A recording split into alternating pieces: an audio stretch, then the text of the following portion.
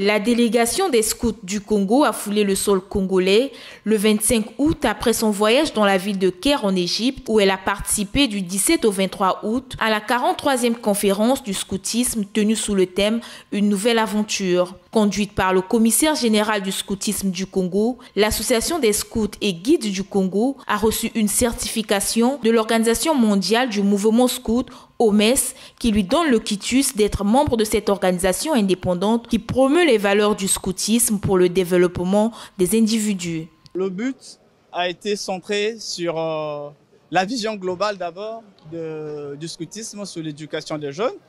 Et euh, au cours de cette euh, grande activité, il y a eu des moments forts. En ce qui nous concerne, c'est notre remise officielle du certificat d'adhésion à l'Organisation mondiale de l'OMS.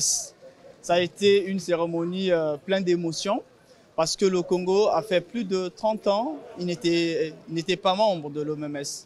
Et après notre adhésion, donc il était question de nous présenter devant les autres membres et euh, un certificat a été donné à l'honneur du Congo euh, au cours de cette session. À cette occasion, le commissaire général est revenu sur l'impact et l'apport de la formation scout dans la société congolaise, notamment dans la lutte contre la délinquance juvénile. Notre méthode permet que les jeunes comprennent d'abord les béabas de la vie civile, ce qu'on appelle le civisme.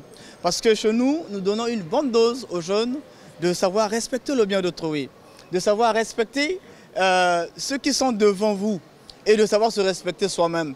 Et lorsqu'on a ces valeurs, je pense que le scoutisme aidera de beaucoup notre jeunesse. Et en passant aussi, nous saluons notre collaboration avec le ministère de la Jeunesse parce qu'il nous accompagne pour faciliter ce que nous faisons comme activité.